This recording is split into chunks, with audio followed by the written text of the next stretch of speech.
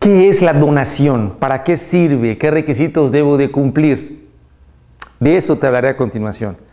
Hola, yo soy el licenciado Rubén Osorio y es momento de hablar de derecho. La donación es un contrato en virtud del cual una persona le cede gratuitamente la propiedad de un inmueble a otra, quien debe de firmar de aceptación. Una persona cuando hace una donación, pues está transfiriendo la propiedad de ese bien inmueble, pero para que esa donación se pueda perfeccionar, la otra persona debe firmar que acepta esta donación.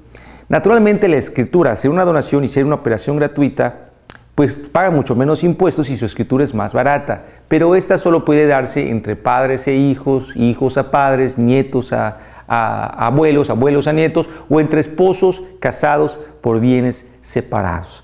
También, pues no todo es testamento. Esta figura de la donación también se puede utilizar a veces para sustituir, en algunos casos, eh, la intención de ceder los bienes para después de el fallecimiento. Es decir, en vez de hacer un testamento para dejarle esta casa a tu hijo, por ejemplo, puedes decidir donársela, pero te reservas el usufructo, o sea, el uso de la casa mientras vivas. Esto significa que aun y cuando tu hijo le hayas donado la casa, tu hijo va a ser el dueño, pero no puedes sacarte de la casa porque tú tienes derecho de vivirla el resto de tu vida. E incluso tú la puedes dar en renta como usufructuario. Esta operación se llama donación con usufructo vitalicio y para más detalles y más información más especializada, te sugiero que acudas con tu notario de confianza. Ellos tienen toda la formación en la preparación para poder orientarte en esta área de los contratos.